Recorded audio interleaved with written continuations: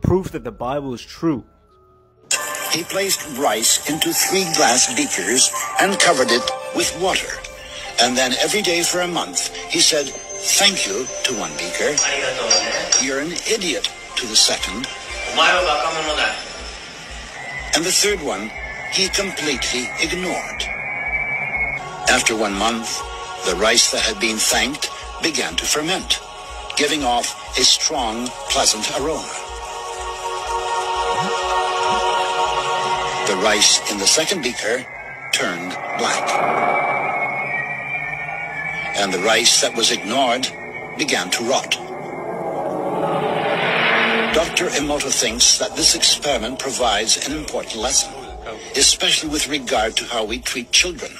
We should take care of them, give them attention, and converse with them. Indifference does the greatest harm. If we look in Psalms 18, verse 21, death and life are in the power of the tongue, and they that love it shall eat the fruit thereof.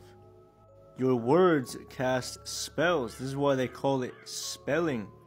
It's because words carry energy and vibration in the spirit realm that we can't see. This is also how they put demonic subliminal messages in front of the kids' faces. These are spells that open up demonic portals.